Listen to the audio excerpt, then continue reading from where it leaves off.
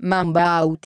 Con queste parole, Kobe Bryant aveva salutato il pubblico dello Staples Center al termine della sua ultima gara da professionista disputata con la maglia dei Los Angeles Lakers, il 13 aprile 2016, contro gli Utah Jazz, mettendo a referto 60 punti con il 44% di percentuale dal campo e sul parquet dello Staples Kobe dovrà tornare il prossimo 18 dicembre, quando la franchigia giallo-viola ritirerà le storiche maglie della sua carriera, la numero 8 e la numero 24, lanciando definitivamente il Black Mamba nell'Olimpo dei Lakers.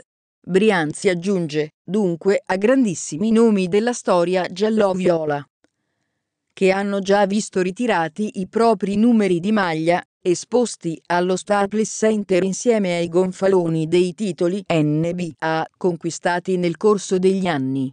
Una compagna d'elite che comprende fenomeni del calibro di Wilt Chamberlain, numero 13, Elgin Baylor, 22, Gail Godric, 25, Magic Johnson, 32, Kareem Abdul-Jabbar, 33, Shaquille O'Neal, 34, James Worthy, 42, Jerry West, 44, e Jamal Wilkes, 52.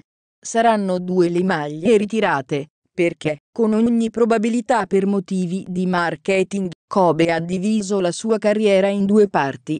Una prima, giocata con la numero 8, dal 1996 al 2006, una seconda disputata con la numero 24, dal 2006 al 2016 è giunto in NBA senza passare dal college. Bryant divenne ben presto il pupillo di un'altra icona giallo-viola e dell'intera NBA MR. Logo, al secolo Jerry West, che lo portò ai Lakers nel 1996, soffiandolo a Carlotte. I primi anni di carriera di Kobe furono subito esaltanti, anche perché questo ragazzo di Philadelphia, cresciuto in Italia, non aveva paura di nessuno, neanche di Michael Jordan, del quale sognava di ripercorrere le gesta. Dal 2000 al 2002 sarebbero arrivati tre titoli NBA consecutivi, con Phil Jackson in panchina e Shaquille O'Neal in campo, mentre dal 2004, sconfitta in finale contro i Detroit Pistons, con Karl Malone e Gary Payton aggiunti al roster giallo-viola. Ecco un triennio di traversata nel deserto, fino alla ritrovata competitività dei Lakers, nuovamente con Jackson sulla tolda di comando, concluse con due titoli, 2009 e 2010, contro Orlando Magic e Boston Celtics, in tre finali consecutive. Infine, il lento declino, contrassegnato da infortuni assortiti, per un giocatore capace di partecipare a 18 All-Star Game e due volte MVP delle Finals, ma per i record di Bryant sarebbe necessario utilizzare litri di inchiostro.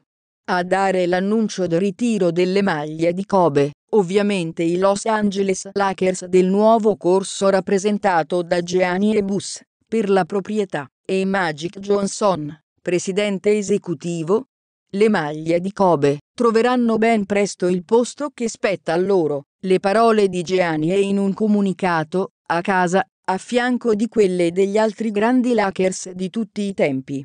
Non c'è mai stato alcun dubbio sul fatto che questo giorno sarebbe arrivato, l'unico punto interrogativo riguardava il quando.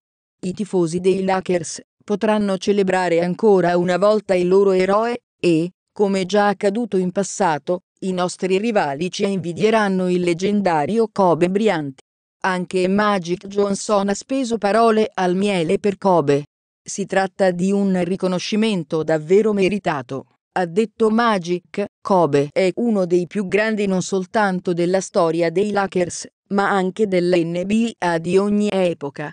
Fa parte senza dubbio del mio personale Mount Rushmore NBA non vedo l'ora di ammirare quelle due maglie ritirate e appese al soffitto dello Staples Center, e di festeggiare questo giorno speciale con lui, e con la sua famiglia. Non poteva mancare un pensiero del diretto interessato, espresso sempre in una nota. Da bambino cresciuto in Italia, Ho sempre sognato di vedere appesa la mia maglia tra i pilastri dei Lakers, ma non avrei mai immaginato che un giorno ne sarebbero state ritirate due. I Los Angeles Lakers mi hanno tributato un grande onore, sono grato a loro e felice per l'entusiasmo dei tifosi. La cerimonia avverrà in un contesto speciale, ovvero sia nella sfida tra i nuovi giallo-viola di Luke e Valton e i campioni in carica dei Golden State Warriors, degno palcoscenico per celebrare il giocatore che più di tutti ha segnato gli ultimi vent'anni di pallacanestro NBA.